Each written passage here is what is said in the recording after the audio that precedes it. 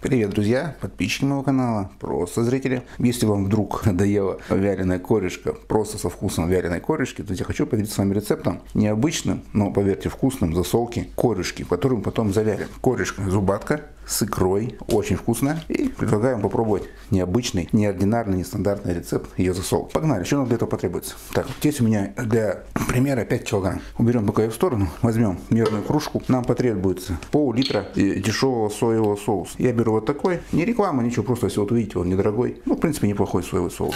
Для засолки само то. Берем пол-литра. Расчетую на, на 5 килограмм. Если кому-то меньше, там просто посчитайте дальше. Так, пол-литра соевого соуса есть. В этот соевый соус добавляем 5 столовых ложек сахара, 5 тщательно все это дело размешиваем. И также к этому сахару мы добавляем 150 граммов крупной соли. У меня второй помол, без добавок, высыпаем в соевый соус. Расч... Соль берется из расчета 30 грамм соли на 1 килограмм рыбы. Но это и при условии, что солью мы если с соевым соусом. Так как соевый соус соленый у нас, то берем 30 грамм или где-то будет плюс-минус то, что нужно.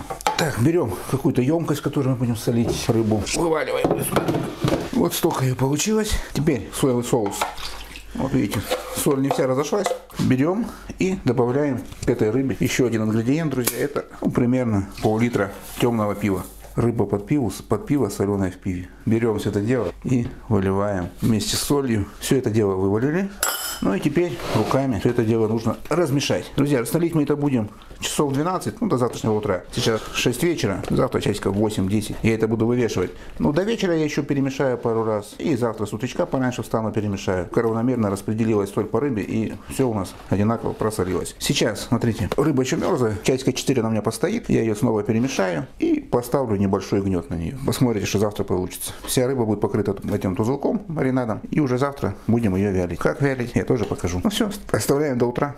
И завтра продолжим. Так, ну что, друзья, 12 часов пролетели. Рыбка просолилась. Затем берем прутки. В деревнях берут обычные ивовые прутики деревянные. И потом так вот на стену их на гвоздики вешают. Ну, а я на балконе два прутка поперек и на них нанизываю. Нанизывают вот так через жабру ее обычно корешку и через рот. Вот таким образом. Вот штук по 10, по 15 рыбенок, рыб немножко стечет. И повешиваем все это дело, вялится. Ну, сейчас я все сделаю и покажу, как получилось. В принципе, все просто. Рыбка пахнет очень вкусно, этот маринад с пивом, офигенная штука. Ну, когда приготовится, все попробуем и я расскажу, как это получилось. Итак, друзья, корюшка засоленная и завяренная по спецпосолу, так скажем, готова, высохла, все с ней отлично, вот такая вот серебристая шкурка получилась. Сейчас сразу хочу всем сказать тем, кто скажет, зачем такие извращения, если корешка со вкусом корюшки тоже вкусная сама по себе. Друзья, есть у меня и просто корюшка со вкусом корюш. Просто обычная вяленая корюшка. Да, это вкусно, но это все знают. И хочется маленько разнообразия. Сейчас покажу.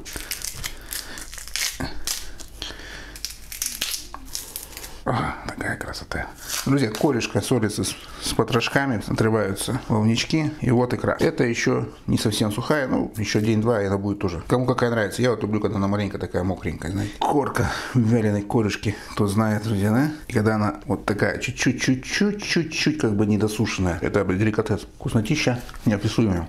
Друзья, вкус вот в этой корешки, по соли она также малосольная, все отлично, но вкус корешки у нее более сильно выражен, она более корешковая что ли. Из-за соевого соуса, возможно, добавки глутамата натрия, усилителя вкуса, она просто вкуснее, чем просто вяленая корешка. Запаха пива там нету, ничего нету. Все это смешалось, соединилось, вкуса соевого соуса там или пива не чувствуется, все просто такой мощный вкус вяленой корешки. Он намного, раза в два, в три, наверное, сильнее, чем просто вяленой корешки. Друзья, если вы хотите попробовать что-то необычное, интересное, новый вкус знакомого хорошо всем, ну, многим блюда, да, рекомендую попробовать этот способ засолки корешки. Это вкусно, просто вкусно.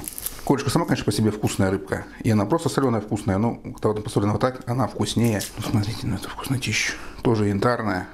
Прям вкуснота. Так, ну все, друзья, не буду вас больше томить.